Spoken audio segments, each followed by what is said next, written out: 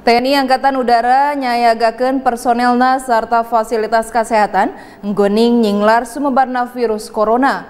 Salah saji fasilitas kesehatan milik TNI, AU Kawas Rumah Sakit Salamun Bandung geus diwewegan kurohang isolasi, turta sayagan nampak pasien anu butuh perawatan khusus kasup corona. Satu tas virus corona sumebar di sejumlah negara keasup di Indonesia, TNI Angkatan Udara geus nyagakeun tenaga personilna sarta fasilitas kesehatan pikeun antisipasi sumebar naeta virus anu asalna ti negara Cina.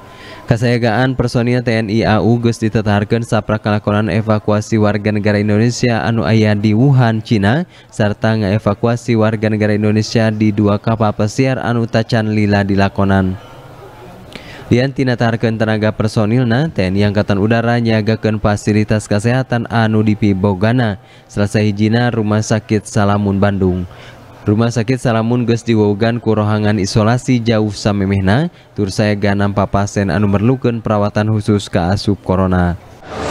Tugas pokok kita adalah menyiapkan prajurit TNI untuk siap melaksanakan tugas